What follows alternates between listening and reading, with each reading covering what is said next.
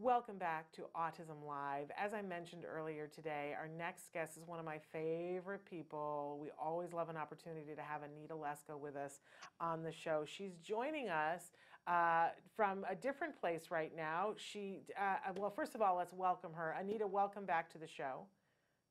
Thank you. My pleasure to be here. I love your hat. You always have the best hats. Uh, it's wonderful. And so, Anita, tell us where in the world you are. It's like, where's Waldo, but where's Anita? okay, so right now I'm in Troy, Michigan, which is uh, just like a suburb of Detroit. Uh, because tomorrow I'm the keynote speaker at the Metro Parent Magazine Autism event, which I'm very excited and can hardly wait for that for tomorrow. So anybody who's that listening, who's in this area, come out and join us tomorrow. And so it's where? At Troy Marriott. I'm sorry. Where is it again? At the uh, it's called the uh, Marriott Troy. Okay. And um, and so is I don't know if you even know the answer to this question, but do you know is it still possible for people to get tickets so that they can come and hear you speak?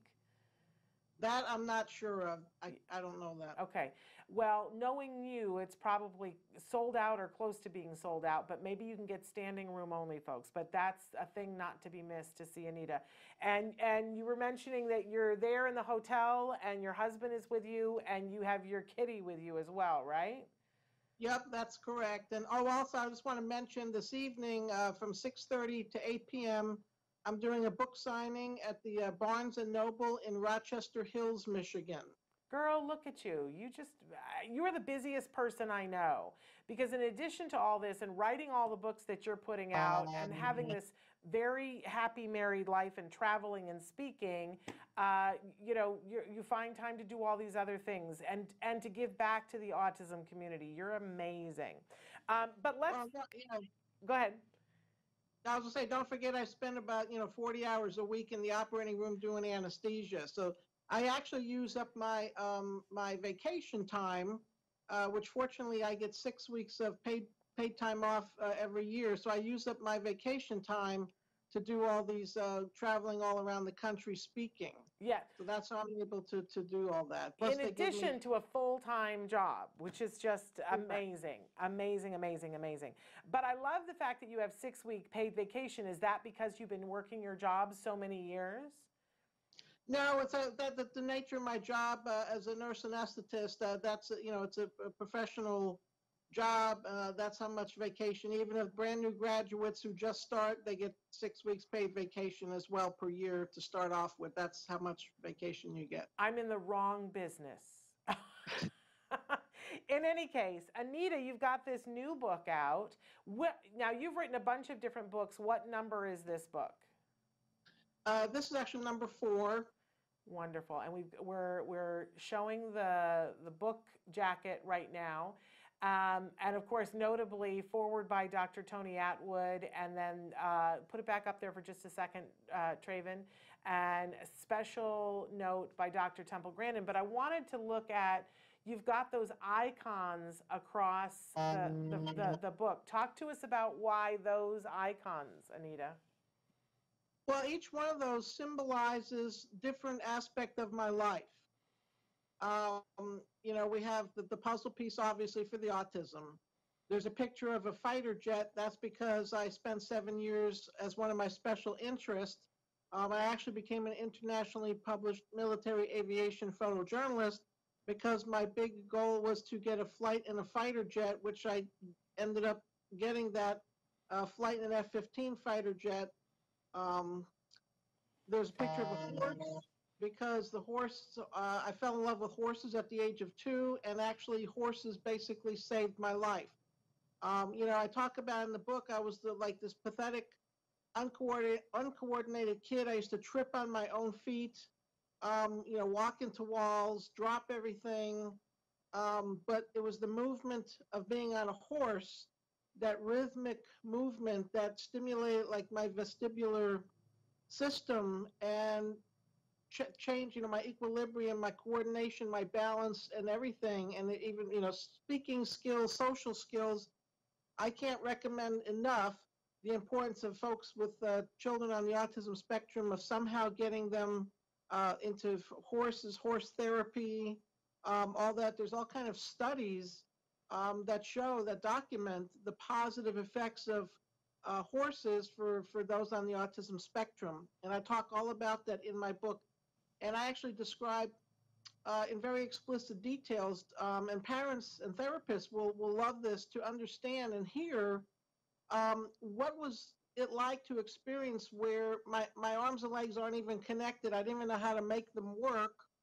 And, and I describe what that feels like. And then the change that started happening in me from the, being on the horses and everything, and how that came to totally change how my body functions and have body control over myself. Um, and I think that's a real important thing for, for parents and uh, therapist, occupational therapist, um, everybody to hear that, to for somebody to verbalize in explicit detail this whole process. It's really amazing and, and wonderful to know that you fully explain all of that in, in the book. But now the two icons that are the first one and the last one, I would I would guess that those are two of the most important things in your life. Okay, so there's the icon for the uh, the medical symbol of the caduceus, um, and that's for, of course, for my 30 plus year career as a certified registered nurse anesthetist. To date, I've done over 60,000 cases. Um, I specialize like in anesthesia for neurosurgery, uh, orthopedic joint replacement. I used to be on an organ transplant team, trauma and burns, um, really big stuff. You know, I've got patients' lives in my hands every day.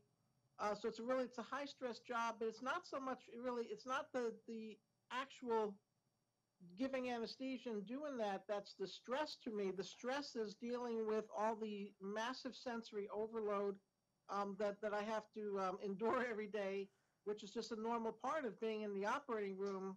Um, and you know when I listen to all the neurotypicals, because I'm the only person on the spectrum um, but I listen to all of them, and they're all wiped out, exhausted by the end of the day. And I'm thinking, yeah, well, you got to try being autistic, and and being able to um, endure all of that. You know, between bright lights, I hear bone saws all day, hammering, um, multiple people talking all at one time, having you know multiple monitors going, having to keep track of of you know it seems like a hundred things all at once to keep track of all day long, interacting with people nonstop it's a lot.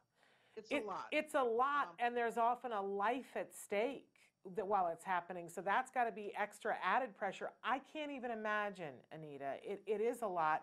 But as you said, you've been successful in doing this on a very high level for uh, three decades now. That's an amazing accomplishment, an amazing accomplishment. And then the last icon uh, are the two wedding rings, which I think is probably one of the most joyous things in your life, right?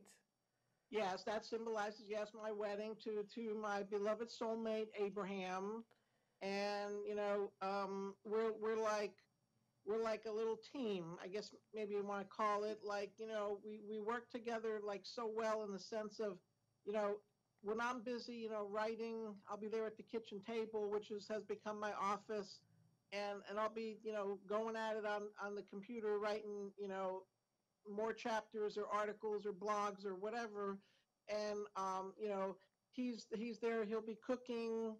Uh, there in the kitchen, or he'll be doing the laundry or doing stuff to keep the house going and keep us going, um, and and his you know constant support for me and everything. Um, so, yes, all, that that's a very significant part of my life.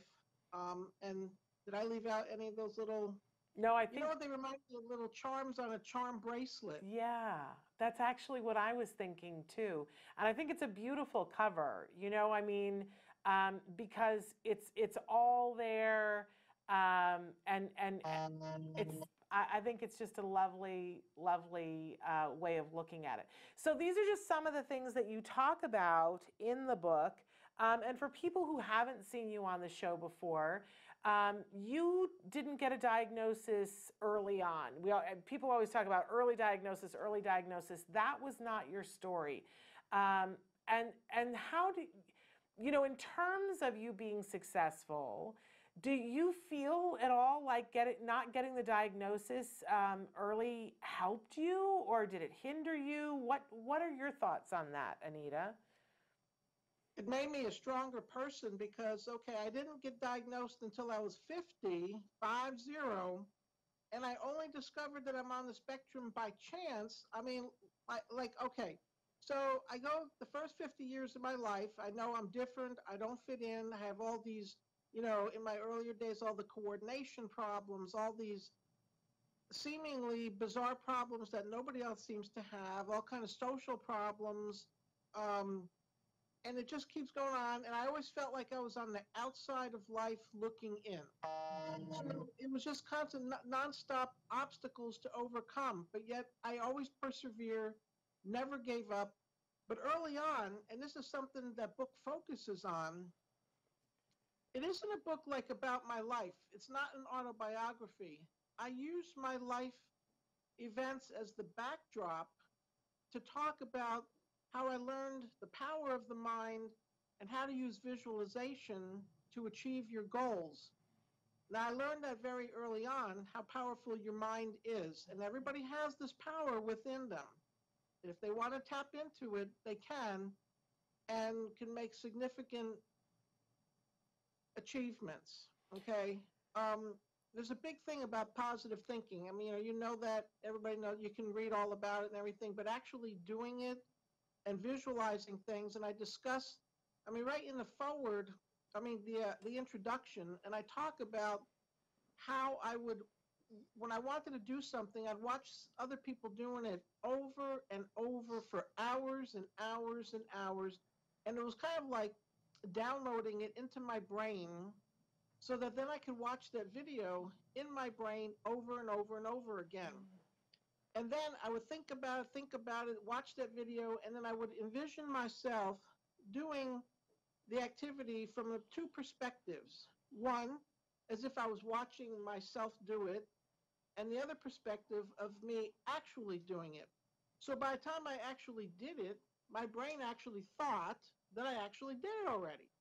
Wow. Um, as I went through my whole life and learning how to do this visualization process, then as I get, came to be an adult, well, then I learned about that's how like um, these top elite Olympic athletes they use this visualization um, in in their training. And it's actually classified as actually even more important than the physical training, is the training of their mind. I mean, you these like Olympic skiers and ice skaters, they'll visualize themselves like the skiers going down the mountain at 80 miles an hour. Well, they visualize that in their mind hundreds of times before they actually start skiing down that mountain. So by the time they actually are skiing down the mountain, their body and their mind thinks they've already done it, so they do it so much better. And this is all, you know, documented research, scientific, backed and everything. Um, there's Dr. Norman Doidge. He's written uh, several books about this visualization and neuroplasticity. Now, you see, people used to think, uh, scientists and researchers even used to think your brain was a static thing, and however you were born, that's kind of just it. Well, it's not the case. You can reshape the thinking in your brain and like reprogram it. I call it rewiring, and that's actually what they do call it rewiring. With this ability that your brain has with this neuroplasticity, the ability to change. So throughout this book, yes, I talk about the different aspects of my life, but I keep going back to that vis- visualization and neuroplasticity, and I give this my seven steps how I do this and I very clearly, very explicitly go over in this book to teach people, because not only people on the autism spectrum, anybody who wants to make positive changes in their life can use this method. But I'm hoping that, that people on the autism spectrum, especially, will start to incorporate this because you can learn, do so many things with it. Learn, you can learn executive functioning skills. You can learn whatever it is that you you have a goal or a dream, start using this visualization process, and you can get there. And that's the whole purpose of this book. Like I said, it's not like it's just some autobiography because that's not the purpose of it. I want to help others be able to achieve their best life possible. And in the foreword, what Dr. Tony Attwood wrote when I read what he wrote, I felt so overwhelmed. He saw it. He saw the the, the he calls it the bridge. This is the bridge of what we what you know scientists and research research all knows about autism to bridging over to that thing to be able to to do these things. Um, and he feels that this visualization and everything needs to be incorporated into regular like therapy and education system and everything to do for autistic individuals. So I'm really excited about this book and I hope it reaches far and wide. And it and it's not it, it's for everybody. It's not just for you know individuals on the spectrum. It's for parents, parents especially, because they can learn how to do this visualization and help teach their children how to do it. Um, it's for educators, therapists, uh, everybody, anybody who wants to make a positive change. What a wonderful thing. Where can we get the book, right? Because it's available, at, it came available, was it yesterday or the day before yesterday? On Monday, uh, April On Monday. 1st. Okay. So where can we get it, Anita? You can get the book on Amazon.com or like Barnes and Noble. Um, I mean, if you go on my website, which is anitalesko.com, and you cl- go to where it says books, and if you click on it, that'll take you to Amazon. Um, of course, every I, I I do all my own shopping from Amazon, so that's my first place. I, I love that. So, Anita, what, when did you learn this about uh, visualization? And uh, were you, and how did you, like, did somebody introduce this to you, or did you find it on your own and then do research on it and realize how powerful it was? How did this come to you? when I was about six years old, and there's a little story in the book, so I don't want to kind of give it away. Yeah, don't give anything was away. when I learned the power of the mind. And there's a specific incident that that enabled me to learn that power. From there, when I started to be like as a working student at a stable where I used to work, which I started working there when I was about 12, and I wanted so bad to be able to ride horses and someday learn how to jump them and, and ride in competition and everything. But my family was very poor, so there was that they couldn't. My parents could not afford riding lessons or buy a horse or anything like that. So the only way it was going to be was I had to uh, get a job as a working student at this big stable near my home, and uh, at, in return for like shoveling out horse stalls and all kind of physical work there, I would get riding lessons and riding time. Well, here's a kid that's so uncoordinated, of course. So I would sit and watch and watch and watch the other riders and the people, even even down to things like cleaning a horse stall. You know, I was so uncoordinated. I'm thinking, how am I going to pick up a wheelbarrow loaded with the contents of that stall and, and wheel it down the aisle up into the ramp and then dump the contents into the the dumpster. So I would study how the other people, the workers, did it, and I would watch over and over. And I started realizing that when I did this process, then when I would actually do it, it was starting to happen. And the same thing with riding. Now, when I used to take start to take riding lessons, and even into my adulthood, because I can remember, I guess I was in my 30s, and there was this riding instructor.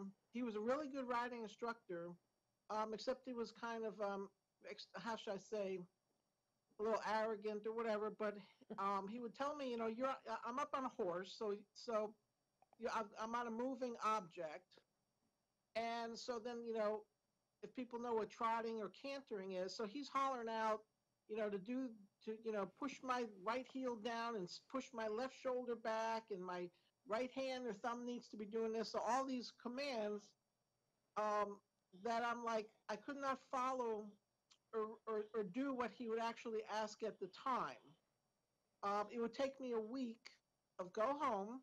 I would have to write it down, all of these things what I was supposed to do, and think about it for the week, visualize it over and over. Then the following week, I would be able to reproduce that, those things on the horse.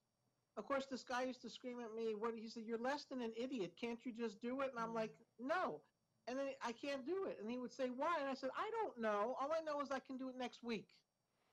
And he would say, I never saw anything like this in my life. This is crazy. And I said, Well, that's all I can tell you. And then the following week, I would be able to produce the, you know, the movement or whatever. But that's how my brain works. Um, and so I would talk about this, you know, in the book in very explicit detail. I'm sure, you know, it's, it's probably boring at some point. Um, Your writing is But- never boring, Anita. Never. Well, because I think I wanted people to understand what's actually happening in my body and how these things were able to come about. Um, so I felt that I think you know parents are going to enjoy to read it. I've heard over and over parents say, "I just wish I can have the opportunity to to understand my child's mind. What are they thinking? What are they feeling?" Well, now they're going to get that opportunity for sure to see what it's like living in an autistic body. Um, so everything that I did then for, throughout my life, I realized if I wanted to really do it, I have to use this visualization process, even in my anesthesia training, even in photography when I want to take pictures of jets. Every single thing, I use the visualization to get me there to my goal. And other people can do these things too. Like I said, I very ex- in extreme detail uh, map out my seven step process of how to do this. I love this. Now, did you teach this to your husband? Yes, I did. Yes, I did. And, and Um, did he have any idea about it before you taught it to him? Had he ever heard of visualization or not at all? No, never, um, never anything. Um, when we first met, I mean, all he knew how to do, he can boil water to make coffee. okay. Um, I taught him how to how to cook. I mean, now he can cook just like me, which I can cook like uh, Emeril Lagasse. Um, and there again, oh, now here's a little story. I had gotten thrown off my horse back in 2009, so I spent three months laid up with a whole lot of broken bones. Oh. Okay, and my mom had brought uh, a little portable TV into into my room, and I watched the Food Network. I knew how to cook prior to this, okay, but for so for three months, uh, you know, ten hours a day, I'm watching the Food Network and watching Emeril Lagasse and all the top chefs and everything. So I learned a lot, a lot of techniques. Um, so I end up teaching all this to Abraham and how to visualize how to do it over and over. And now he cooks just like I do. And do you say Um, the dry- bam when you spice things? Do you just say bam like Emeril? Well, sure, you got to do bam, pick it up a notch. you know? uh, on one of the BAMs, your computer, I think what we were, we're just seeing the top of your head. I don't know if you can tilt it down a little bit, but um, that's amazing. Well, so it's changed everybody's life then around you. And Anita, you move in some pretty impressive circles. I mean, Dr. Temple Grandin is a friend of yours. You uh, wrote a book about uh, with her about her the stories that I tell my friends, which is an amazing book, one of my favorite books. Um, and so when you're talking about this with other people who are on the spectrum, do you find that it's something that that is brand new to them that they never knew about before and you're helping to change their lives? Yes, nobody has that I've met in, in the autism uh, community has ever, you know, uh, I don't know if they necessarily. Nobody has said they've never heard of it necessarily, but nobody's ever said that they have heard of it really, um, and nobody certainly has been doing it. Um, and I, and you know, I used to be involved in um, ice dancing, and that I was around a lot of like Olympic level ice skaters a lot. Um, and also with the horses. Now, one of the things I used to find fascinating when I used to go to the United States equestrian team to their Olympic training center, because I lived about one hour away. This was back up in New Jersey. And they would have like um, Olympic selection trials. So I would see like the best uh, riders in the United States there.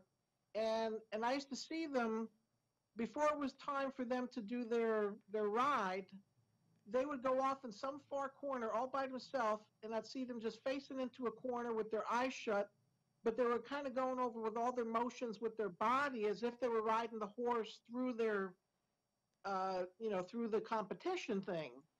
And I realized, wow, they're doing it too. okay, so so then I'm, I'm on the right track of what I'm doing, you know. Uh, Yeah, but I- all all Olympic people and, and top elite sports athletes use this visualization thing. So, and research documents that it really works. So, like I said, I've been doing it my whole life, and I've accomplished many many things. So I- hopefully, other people want to try it. Well, you are an autism success story, and it makes great sense to me. I, we we do a segment on the show that we call uh, a mindfulness moment, and um, we talk about different ways because you know when you talk about um, being mindful or doing visualization or creative visualization, I, I'm sure you get this all the time, Anita, talking about this. But I certainly get people who say, "Yeah, I'm not good at that. I don't know how to meditate.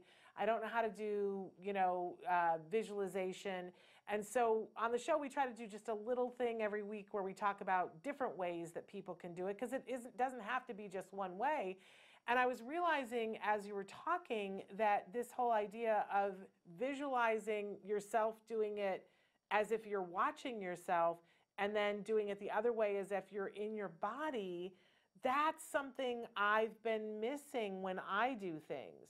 So that, I mean, that resonated with me like a chord being struck, Anita. That was like, oh, of course.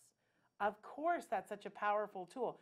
But do you find that people, um, do you hear, have people say to you a lot, oh, I just, I just don't, I don't meditate. I'm not good at that. I don't know how to do that. Or I don't know how to hold Yeah, a picture in my head. I hear people say that. Yes, that's definitely yes. I hear that, and and that's why I. And in fact, there's a chapter in the book how to help decrease anxiety through using this visualization method, and I go again in the very explicit detail in a step-by-step methodical process, and I give like different little exercises to you know to visualize this, and then I I go step by step what what to visualize.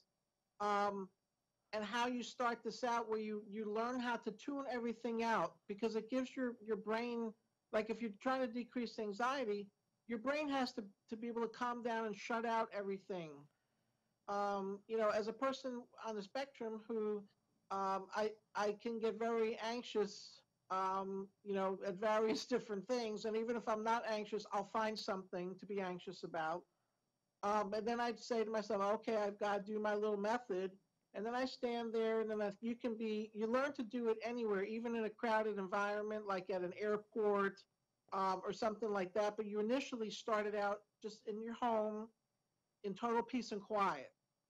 And there can't be any distractions, you know, no cell phones binging, dinging, no TVs on, no radios, no, no music on, nothing.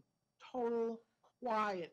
That's how you learn to just focus initially, like on your breathing, and then you start the thought process of what to think about and only focusing on the specific thing that it is that you're going to think about and it then then you can start to learn it. And it's it, then once you learn how to do it then it's very easy to to start to do it whenever you need to like to decrease anxiety or if you're going to use it to uh, visualize something a goal you know to do or something. But anybody can pretty much anybody can learn to do this. It does take practice. It isn't going to happen the first time you do it but you can't give up. And that's the whole thing you have to be willing to put the time in um, to practice it you know until you can get, it might take you two weeks it might take you two months but don't give up because it doesn't happen on the very first try you keep going over that step-by-step process and then you will be able to do it And, and we're almost out of time, Anita, but do you and your husband ever meditate together and visualize together? Um, actually, yes, we do. We we love to um, be where there's snow, and we have this this scene where we like to visualize being by a fieldstone fireplace with a big picture window, watching the snow coming down in the early evening, with deer outside by a pond. I So love that, it. that that's our, our our our favorite scene to to visualize. It sounds very Dr. Zhivago, and I know that's a big movie that you love. Um, that's Yes. wonderful. I know your mom loved that movie. Uh, Anita, I just think you're amazing and I love you. And I, this book, I think, is going to be a ginormous book and help a whole lot of people. We really want to encourage everybody to get the book um, and leave reviews for it on Amazon. It's available now. Is there any place else you want them to leave reviews? Um, I mean, I know, you know, Amazon, I don't, I guess like Barnes and Noble and other book sites like that have Okay. review thing. I owe you a Um, review. I'm I'm remiss. I owe you a review. Um, but you know that I I love you and I love everything that you do. So, and you're going to be speaking tonight. You're signing books, and tomorrow you're going to be speaking. Tell them where you're going to be tonight and tomorrow again. Okay, tonight I'm going to be at the Barnes and Noble in Rochester Hills, Michigan. And then tomorrow I'm at the uh, Metro Parents Magazine Autism event at the uh, Marriott Troy, uh, which starts at 8 a.m. tomorrow. My speaking time is at um, 2:45, I believe it is, in the afternoon. Okay, fabulous. Not to be missed. Uh, please give your husband a big hug from us, and I hope you guys have a wonderful time in Detroit and that you get to that snowy place with a fireplace soon. Yes, indeed. All right. Well, thank you. I love you too, Shannon. Thank you so much, Anita. Sending you big warm hugs, and hopefully, I'm going to get to see you sometime soon. You take care, Yes, okay? indeed. Thank you. You too. Okay, Bye bye. Uh, we are just about out of time. I think we're a minute over here. I just want to say uh, we're back again tomorrow. Tomorrow is Let's Talk Autism with Shannon and Nancy. Our very special guest, we've got uh, Rena Vanzo, who's going to talk with us from Lineagen about why you might want to consider doing genetic testing. Um, and, and what the reasons for it are, what the benefits are. And then we have the fabulous up and coming YouTube star, Kenny Valdivia, is going to be with us to talk about why that's super important to him. You're going to love him. He's super fabulous, awesome. And don't forget this weekend, if you're in town, come, if you're by Disneyland, you've got to come to Fullerton to go to the Mardi Gras for Autism. We will be there. We've got great prizes and we're very excited about that. So make sure that you're at Fullerton Cares this Saturday. It's from 11 to 4, the Mardi Gras for Autism. Be there or be square. We're going to be back tomorrow. Until then, give your kiddos a hug from me and one for you too. Bye bye for now.